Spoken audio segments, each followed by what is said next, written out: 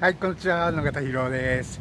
いやー、やっと退院、まあ退院って言っても1時なんですけど、えー、今日は台風が来てるみたいで、今、外に出た途端に雨が降ってきました。雨の中帰るの嫌だって言ってるのになんで台風が来る日に退院なんでしょうね。ということで、これから家に帰ります。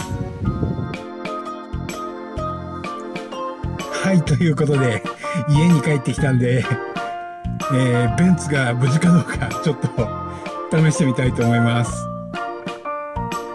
いやね、さっき、病院出た時、雨降ってきたって言ったじゃないですか。もうあの後土砂降りで、もう全身びちょびちょですよ。もうね、雨降る日に退院したくないって言ってあったのに、なんでよりによって台風直撃の日に退院させるかなって感じですよね。まあでも、退院できたんで、まあいいかなっていうことで。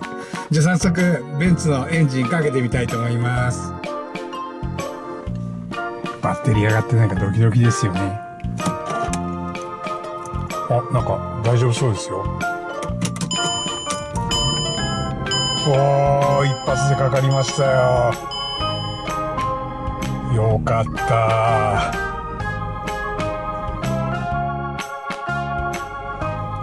はい、ということで、ベンツも無事でした。ということで、野方博無事退院。じゃあね。